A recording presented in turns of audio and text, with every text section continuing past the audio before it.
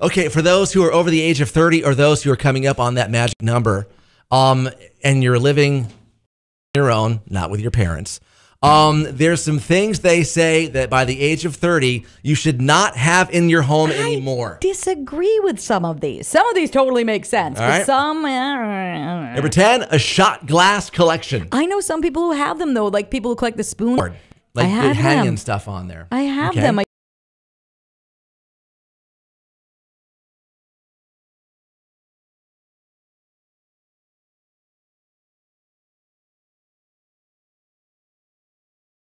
use them for work. I have children that are busy. Yes. Anything galactic or solar system themed. Again, if that's your thing and you like like solar systems and one Yeah. of your rooms is decorated that way, Paper floor lamps. I don't know what that is. I don't know is. either. Uh, dream catchers. I think, love I, I think we've got some of those hanging somewhere. Yeah. Um, old trophies on display from your childhood. You have those. You. no, you know what? I don't have all of them. I didn't say you have all of Um, them. I said you have some. well, that, that my parents got a hold of, and I've and I still have your chili cook-off. Yes. champion. Which is you've broken before. Yeah. Um, plastic cups, plates, or cutlery. I'd say I disagree with it. Would you have Plastic cup- yeah. children? Oh my gosh, yes. I'm And, and, and you have something that you want to like can put Yeah. through the dishwasher, not worry Yeah. about what happens to it, then you probably have plastic. Do you Come on. have stuffed animals on your bed over the age of 30? Yes. Just one. Okay.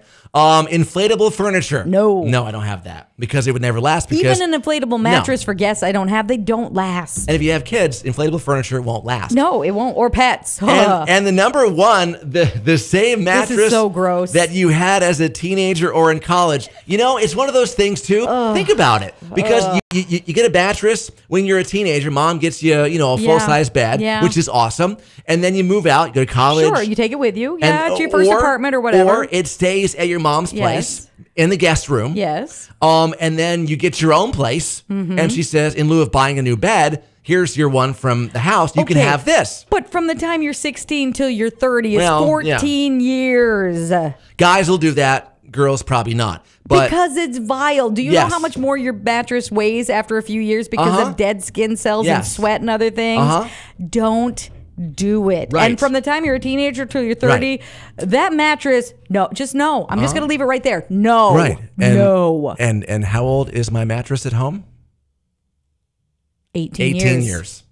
It's time for a new one. Yes. More info about things you should not have at your home after the age of 30 right now. Yes FM Facebook, Twitter at 967 Yes FM, and the Merge Morning page at yesfm.com.